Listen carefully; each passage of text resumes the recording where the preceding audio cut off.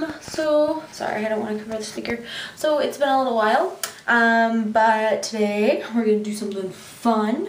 I went to the store and I got an Intelligender. Now, we're just doing this for fun, so I'm not like, it's the last baby, so I just, you know, I want to try it out.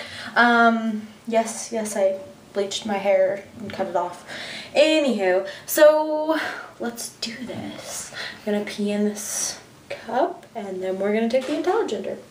Okay, so.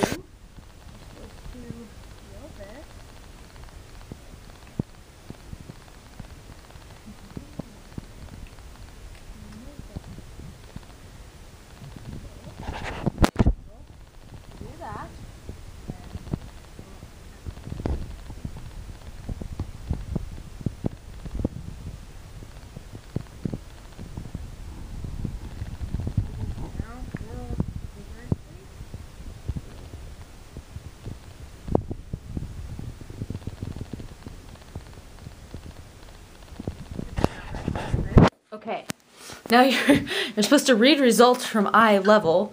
So, let's turn it. That doesn't look boy to me. That looks girl all the way. you want a sister? You have sister? Yeah, we'll see in uh, like a sister. in about a month. I mean, it, it's like a little bit like getting darker, but to me, that's results in minutes. Yeah. I think you should be able to read it. I read Um, the Also instructions. says harmful if swallowed. Maybe we shouldn't be swallowing it then. So I'm gonna That t- is looking girl. I'm gonna take that as 100%. That is a girl, no doubt about it. According to the intelligence. Yeah, according to the Intelligender. We'll see. All right, bye. By the way, a note about the Intelligender.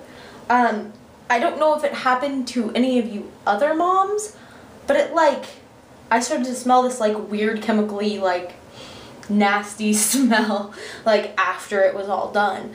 It was weird. I have no idea what it was. Maybe it's just my prego hormones, but my hubby could smell it, so it was weird. Anyways, all right. Have fun. Bye, guys.